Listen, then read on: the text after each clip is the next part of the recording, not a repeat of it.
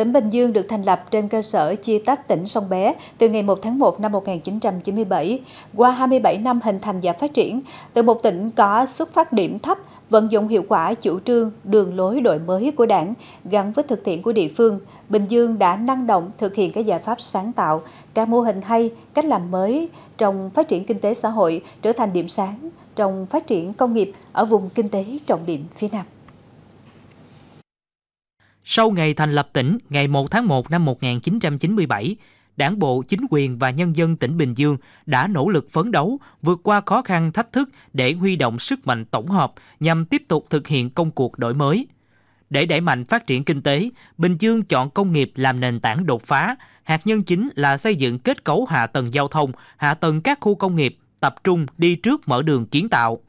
Từ lợi thế về giao thông và hạ tầng công nghiệp đồng bộ, các khu công nghiệp tập trung quy mô lớn cùng với hàng loạt các chính sách trải chiếu hoa mời gọi đầu tư, trải chiếu đỏ mời gọi nhân tài, cơ cấu kinh tế của tỉnh Bình Dương đã chuyển dịch theo hướng công nghiệp hóa, hiện đại hóa và nhanh chóng tạo tiếng vang, thu hút được nhiều tổ chức cá nhân trong và ngoài nước đầu tư sản xuất, kinh doanh trên nhiều lĩnh vực.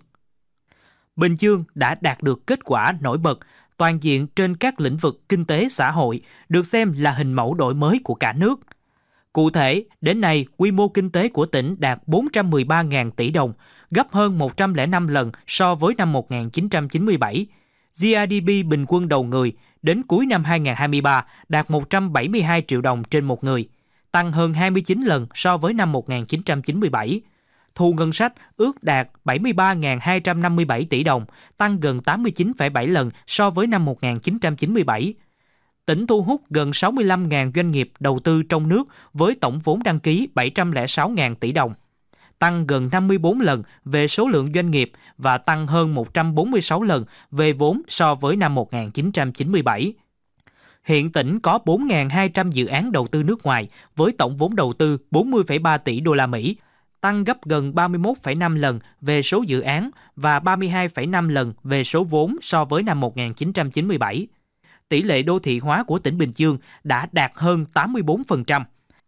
Thành tựu đạt được là niềm tự hào, là kết quả của một quá trình nỗ lực, phấn đấu bền bỉ qua nhiều nhiệm kỳ của thế hệ cán bộ lãnh đạo, của cả hệ thống chính trị, cộng đồng doanh nghiệp và nhân dân trong tỉnh. Thể của địa phương không ngừng nỗ lực tại Bình Dương bám sát và vận dụng một cách linh hoạt sáng tạo chủ trương đường lối đổi mới của đảng vào tình hình cụ thể của địa phương không ngừng nỗ lực tạo lập và khai thác những tiềm năng lợi thế để kiên trì thực hiện mục tiêu xây dựng Bình Dương ngày càng phát triển, đời sống của nhân dân Bình Dương ngày càng được ấm no hạnh phúc, góp phần thực hiện mục tiêu dân giàu, nước mạnh, dân chủ, công bằng, văn minh mà đảng ta đã lựa chọn. Mô hình phát triển của Bình Dương được Trung ương nghiên cứu để tổng kết đổi mới đất nước, Mô hình phát triển của tỉnh Bình Dương là sự kết hợp thành công giữa khả năng khai thác, chất chiêu những lợi thế hiếm hoi, khoán chuyển được những bất lợi thế thành lợi thế với một chiến lược phát triển đúng đắn để bứt phá đi lên. Giữa khát vọng chinh phục những đỉnh cao phát triển với tầm nhìn vượt trước và tinh thần không ngừng đổi mới sáng tạo, giữa chủ trương mở đường, cơ chế tạo thuận lợi của Trung ương được cụ thể hóa, tích hợp và hội tụ với cách làm linh hoạt và sự vận dụng sáng tạo của địa phương. Giữa sự đồng hành chia sẻ của chính quyền với doanh nghiệp và người dân.